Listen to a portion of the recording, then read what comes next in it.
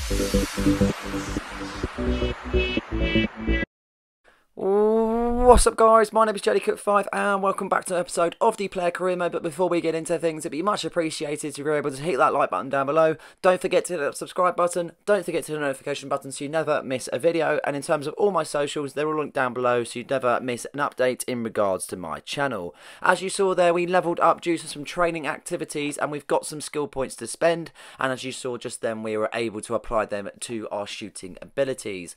This is where the stats lie, we're currently on 92 pace, 79 shooting, 58 passing, 75 physical. Obviously, don't worry about the defending.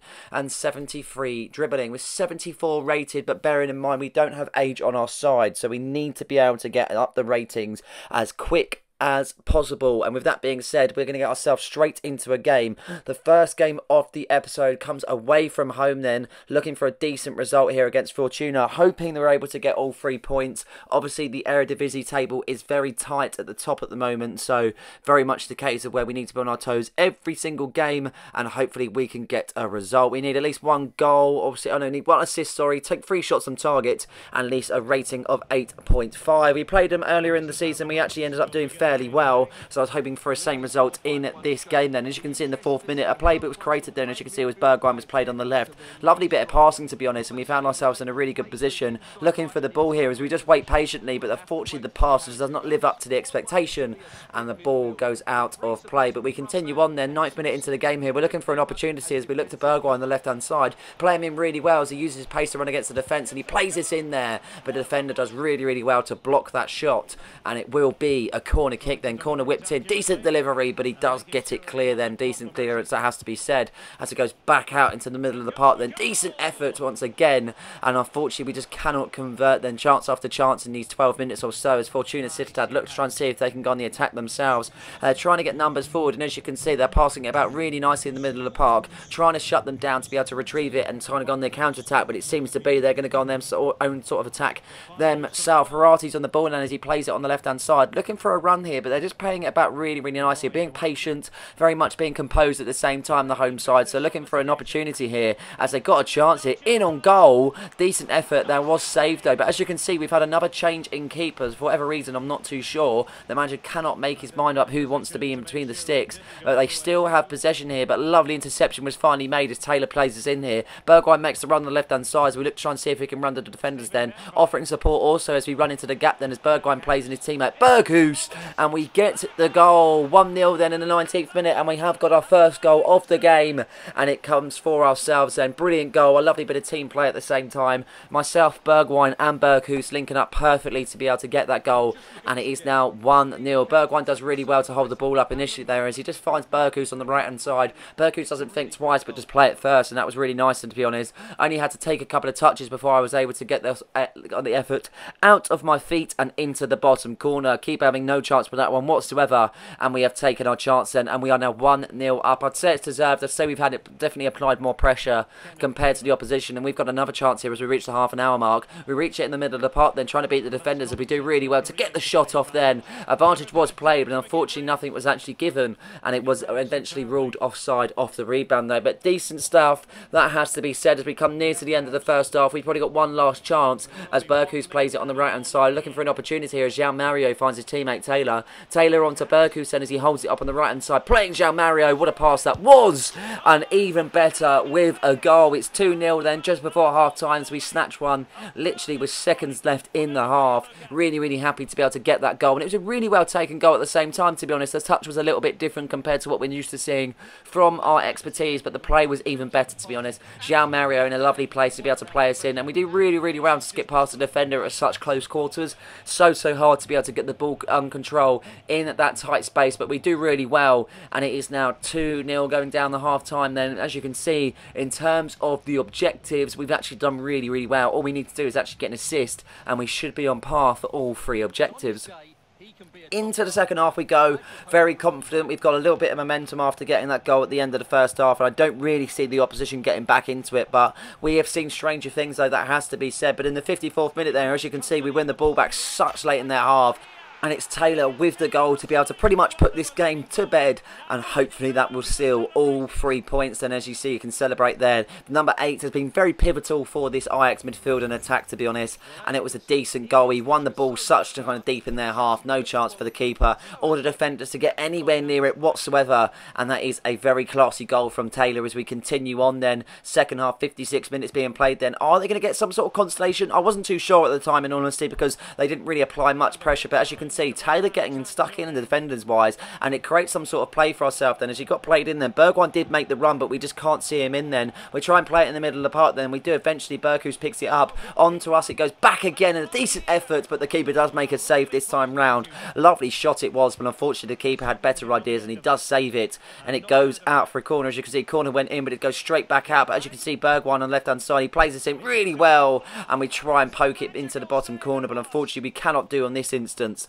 and it still stays 3 0. Still looking comfortable though, still looking like we're able to claim all three points. And as the clock is ticking, it looks to be that that is going to be the case. We've got another chance here. Once again, the keeper pulling out all sorts of stops to be able to make it a less embarrassing for himself as it nearly goes to four as a decent corner was whipped in. But we just can't seem to win the headers as much as we'd like to. Taylor picks it up in the middle of the park then as you can see from the loose corner and unfortunately just can't really do anything with it. But what a challenge that was. Bergwijn picks it up on the left hand side after a real good side tackle from ourselves. We get played in here with Taylor there and Taylor gets his second goal of the game and we've got our assist. We've got a 10.0 rating and that should be game set and the match. 4-0 at the moment. We've got two goals. We've got one assist. Can't really knock the performance that we've been having and it all stemmed from that lovely slide tackle. As you can see, we just won the ball in such a pivotal area of the pitch and we pushed it past really, really quickly and that was the most kind of effective way of doing it at the same time. We did well to be able to hold the ball up, push it up the field really quickly and find ourselves in the ample space to be able to get the goal. 88th minute into the game now, and as you can see, the clock is very much winding down now. If they're going to score, it's pretty much going to be a consolation, but I'm very going to be, I'll be, I'll be really rare if that is going to be the case, to be honest. I'm not too sure if they will in the end. As you can see, it hits the 90th now, and they're just seeing the game out. They know they've lost this one. There's no way back whatsoever, but they're going to have one last chance, but the keeper makes a very good save on this instance, to be honest. And it is full time then, 4-0 in the end. A very good performance against a tough opposition. And I, I think like every every Eredivisie game is some sort of hard in some ways. Obviously, there's weaker teams, there's stronger teams, but they all put up a fight, and that is the difference. Away from home, it's always tricky, but we definitely put a shift in, and as you can see by our rating, we also put a shift in. 92 minutes being played, two goals, one assist, and six shots on target. 2,500 on the XP as we completed all three objectives, and as you can see from our objectives, for what we completed them for, we got stuck in from all areas of the pitch. Really, really happy to be able to get that, and we also get player of the match. So we got three objectives completed, two goals, one assist, and player of the match. Not more you could want apart from one more goal to be able to get the match ball, but we can't have it all, that is for sure after such success in that game, we actually do get another play star as we look to try and see what one we can actually select. And we do eventually go for the Trivela. I feel like it's something that's commonly used in game, so I felt like that would be a nice part to add. And as you can see, we are absolutely romping at 36 goals, so it's only a competition record of 43 to beat. And we still haven't stopped here yet, as we've got another game here at the Johan Cruyff Arena, and this time it comes up against Vitesse. Obviously, a team in recent years that have had a lot of low needs from Chelsea, and they've also been kind of named as Chelsea's B team, as it were. Obviously, in recent years, I haven't really been doing the best, I would say, and they haven't had as many low knees compared to what they have done in previous time. That is for sure. We need an 8.5 rating, possession of 60% and three shots on target. I'm hoping that's going to be able to be completed, but let's get into things and see what happens. And as you can see, Vitesse tried to start really, really quickly, and they have done exactly that. Four minutes into the game, we already found ourselves 1-0 down here at the Johan Cruyff Arena. Not exactly the most ideal situation to put yourselves in such early into the game. At least we've got time to be able to get back in. But as you can see, the defence was caught lacking. The attacker actually left it for whatever reason, but it actually put the defence off at the same time. They thought with him not retrieving the ball, they just don't make the run. But another person on the right hand side seemed to overlap. Keep having no chance from such close range. And it is now 1 0 to Vitesse, and starting this game off really, really quickly. Looking to try and see if they continue that on. But we do have our first chance in the 11th minute as we make a lovely burst on the left hand side. As you can see, we don't do that well, but unfortunately, we just don't seem to be able to click on onto the ball. For whatever reason, we make such a heavy touch and we do lose it. But as you can see, Medic with a lovely interception then as we pick it up in the middle of the park, looking to try and see if we can create something for ourselves. But it's very much chock a block in that middle of the park. They're creating some sort of bus. And as you can see, a decent effort was finally made. And in the 14th minute, we've had our first chance here. As you can see, the manager wasn't exactly pleased. But we are making chances at least. But Vitesse is still going strong. They're still passing it about like they're at home, to be honest. There's no sort of eager kind of from the defence, and there's just I feel like Vitesse are just more up for it, and you can see this. As you can see, 15th, 35th first minute there. As you can see, Medic makes a lovely interception eventually, but it took them so long to be able to retrieve the ball in the end. Of what they're doing at the back, as you can see, they've got so many options to play it off, and Medic's just running about with it like he's just wasting time. For whatever reason, I'm not too sure. It was getting very frustrating at this point, and we do actually ask for the ball, but unfortunately they lose it in such an ample position. Probably my mistake, but I was so frustrated to see him run from side to side and not doing anything with it as the clock was ticking. They do make another interception as it fell to the goalkeeper there as Gorsa tries to pick it out on the left-hand side. And we do get it clear. But yeah, it's been a very frustrating performance from us, to be honest. And we're not at our best whatsoever. Another chance there from a free kick as the keeper punches it out as Bergwijn retrieves it on the left-hand side. Looking to create some sort of run for ourselves. And as we run on the left-hand side, we made a heavy touch and lost it last time. Can we create something else now as we run into the box? Options there. Red and white shirts offering support. And how but how is Berghuis not converted that one? He's hit the ball straight at the defender. He could have taken a touch at that point. He had so much more time. But yeah, still stays 1-0 to Vitesse as we look to see if we can get one just before half-time. We reach the 43rd minute mark there, as you can see, as Van der Boom picks it up as he plays it in. Taylor makes the run. We see Taylor. Taylor in on goal. And Taylor has got it. We equalise then 1-1 in the 44th minute after we complete the end of the first half in a best better way than we had competed in the whole first half. That is for sure. Very lacklustre, very poor, but at least we were able to end it on a goal. We saw Taylor making the run and we play it into the gap really, really well. Lovely bit of positioning from Taylor to run into the pocket, and he does so well to hit it on his left into the bottom corner. And it is now 1-1. Vitesse will feel a little bit hard done by, especially getting the goal so late on in the first half. But that will be it for the first half then. As you can see, looking very dejected at the same time, and it's not surprising to be honest because it's been nothing but poor. 6.9 rating, 6, 59% possession, and only one shot on target. So we need to up our game if we're completing any sort of objectives in this second half. Then as the second half gets underway, then as Vitesse look to try and see if they can start as they mean to go on compared to like the first at the start. Mm, really, really pushing now. And as you can see, they're looking for some sort of opportunity to arise and create it. It only takes a mistake. It takes anything to get back into the game. Whatever happens, they will take it. That is for sure. And they play it out in the mid edge of the area then, looking for a chance here, but they just can't get the shot off. Ajax are really well to be able to get the ball off them in the end. And on the attack we go as Bergwijn makes himself available on the left-hand side. We play him in, but as you can see, he had to drift to the right and then drifted back to the left. Positioning looking a bit sketchy then as he plays in the middle of the park. Looking for options here as we can't do it all on our own as we find Van den Boomen. Van den Boomen onto Berghuis as he makes a lovely ball into Bergwijn. He should have crossed it first time. For whatever reason, he didn't. He plays it in. Berghuis now! And the shot was blocked as we try and get on the rebound, but we just can't for whatever reason, every second ball and everything, we just can't win. Not going our way whatsoever, but we still got enough time to be able to get another goal. Unfortunately, we got flattened in that one, and that was the end of that attack in the end. But yeah, the minutes are definitely ticking. I wanted to get it done as soon as possible. It doesn't seem to be that's going to be the case in this tie. 70th minute mark reaches now, as you can see, as Vitesse trying to make something for themselves. Salaruddin initially makes a decent interception, but unfortunately just couldn't follow it up, and the attackers do win it back. Manager has given the instructions of ultra attack into the defence. It's going to be very sparse, that is for sure sure as Vitesse on the edge of the area now looking to try and see if they can create something as the Ajax defenders hound them for the ball. Really, really hard to get the ball off of them and it's really proving difficult, that is for sure. As now we go on as we retrieve the ball then looking for a decent chance here. As now we run forward now. Defenders matching us for pace. It's really hard to beat the defenders this time round. Not much support here as we drag to the left hand side. Play it into the box. Bergwijn's there. Why didn't he shoot? He should have just shot first time and had a chance. It would have been better than losing the ball. We try and win it back from the slide tackle but we're not successful.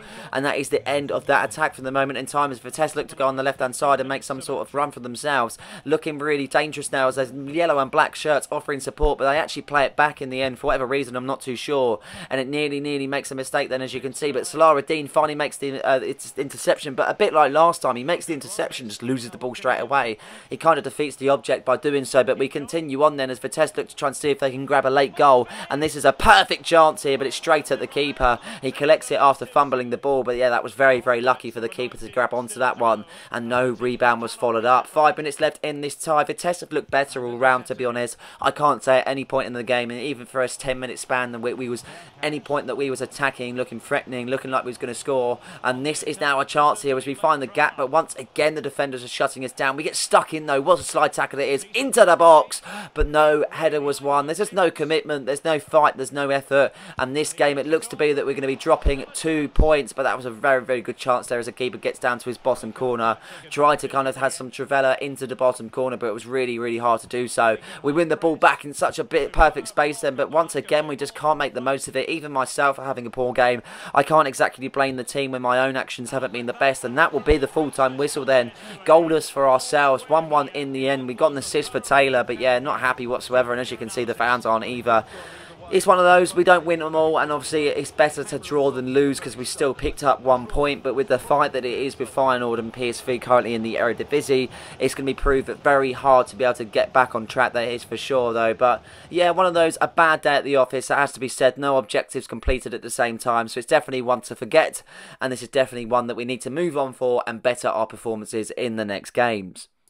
Here we go then to the final game of the episode, and it comes against NEC, hoping for a better result compared to the last one against Vitesse. And this is definitely going to be a tough one away from home this time. Also, looking at the objectives, we need an 8.5 rating, we need four passes completed in our own half, and we need a success rate in terms of our dribbling. But look at this for a foul, unbelievable. And it's actually by a former Ajax player, as you can see. Not too sure if I've got many Ajax fans or many people that have followed Ajax that are aware of the team. But yeah, very, very poor foul. And I thought I might get injured straight straight away. That would have pretty much summed up the episode, wouldn't it? But we don't, and luckily we continue on. But in the eighth minute there, NEC look to try and see if they can create something here as number five Bass plays it out on the edge of the area. Looking very dangerous here as they look to try and see if they can get a chance here because they know if they get the chance, they might be able to hold a lead at home, that is for sure. And Sanchez has got a chance as he looks to try and see if he can get the ball offloaded in the box, but he can't. He plays it back out to his teammate there on the edge of the area. And it's really, really hard for the Ajax midfield to win the ball, but they eventually do. And now we go on the counter attack. Berghuis plays it onto myself, who makes a decent run there. And as you can see, we play it on the left-hand side with Solara Dean playing it on the left-hand side. Looking for an option here. As you can see, as we run into our position, we pick it up once again. Bergwijn offering support, but we're going to take it on our own. And the keeper makes a decent save. And it's the ex-Ajax keeper, Jasper Cillessen, with the save. Very surprising. They've got a few familiar faces from the previous Ajax side. As now we have a chance from the corner. It bouts out to us. We try to get the shot off. We can't. Berg, who's now on the left-hand side, looking to try and see if he can create something. He plays in Bergwijn, he takes a touch, and he thumps it into the back of the net to make it 1-0 for Ajax. And just inside 16 minutes as he celebrates in front of the opposite fans. Very, very happy that at least we've got a goal. I don't care how we do it. We have scored, and we look to be able to break the deadlock early on in this tie. Berghuis is really well done to be able to pick it up on the edge of the air, and he does well to find the gap at the same time.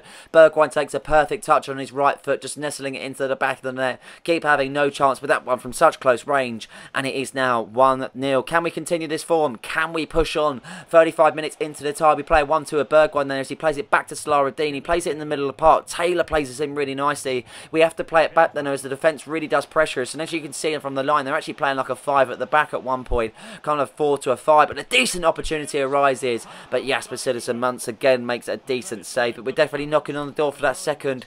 Hopefully it will come very soon, but in the 46th minute there, as you can see, NEC have a throw in in. Salara D makes a really good kind of tackle there as Bergwijn now puts it onto the ball. Lovely run here being made as we try and run into the box and look to try and see if we can create something for ourselves. And we have done exactly that. Out of nowhere, we've got our goal. Haven't really done much in this tie apart from having a kind of few half chances more than anything. But yeah, we have got our goal and it's now 2-0 just before the half-time whistle and we're going to be very, very happy with that one, that's for sure. Wouldn't say it's the most glorified performance from our team or from ourselves, to be honest, but we will definitely take it in the moments where we need three points at no cost whatsoever. Decent effort though as we try and finesse it past the keeper and we really, really done well there. Keeper tries to get low but it goes at a medium kind of high height and it does so well to be able to beat the keeper. As you can see by the rating there, we're doing really well on the dribbling, really well on the passing and also really good on the rating. Long may it continue though. That is for sure. As we go into the second half now and the first chance arises in the 55th minute then as we win it in the middle park from a goal kick. Looking really, really strong here as White Shirts offering support as we play in Berghuis. Berghuis holds it up on the right hand side as he back backheels it onto ourselves, but the shot does not live up to the moment as it just just drag wide. Really, really unlucky though, that is for sure. As we continue on, 59 minutes being played then. NEC haven't really had any opportunities. Can they create one? Not just yet. Slara D makes a really good interception. Bergwijn places it in the middle of the pot, then looking for a decent opportunity as we run with it. Oh, this could be decent. This could be strong. Bergwijn now. Berghuis. Really, really unlucky. Could have taken a touch round the other way and he might have created a bit more space though, that is for sure. But to be honest, that was it. It was the most boring game I think I've played in terms of a victory. Nothing happened in the second half. We saw out the result. The opposition didn't have a chance whatsoever, but we'll take it. As I say, it wasn't the most glorified performance that we've ever had in an Ajax shirt. But yeah, that will be three points and hopefully Feyenoord aren't above us because that's what I worry about when we drop points. So hopefully the previous game didn't affect us too much. As you can see, an 8.8 rating, 92 minutes being played, one goal, three shots on target. So yeah, it wasn't the best of games though, that has to be said. And now looking up the objectives, we completed all three objectives, which is the main thing at the end of the day, and we got 1915 in terms of the XP also. So yeah, good day at the office. And as you can see, we did create a lot in terms of passing and everything like that, and actually just getting stuck in tackles and different things. But in the end, I wouldn't say it's the best performance, and we definitely can do better. And if we come up against bigger sides, we need to do better at the same time. So it's always a learning curve. Games like this, we can always look at it and kind of better ourselves at the same time, but it's always going to be hard to do so. Yes, but we will continue on in good fashion. And this is the table then in the Eredivisie. We played 25, we won 18, we've drawn 4 and we've lost 3. Currently sitting on 58 points, still a point in front of Feyenoord. And as you can see, we're 4 points ahead of PSV. Only literally 6 points separating the top four currently, so it's all to play for between ourselves and AZ Alkmaar.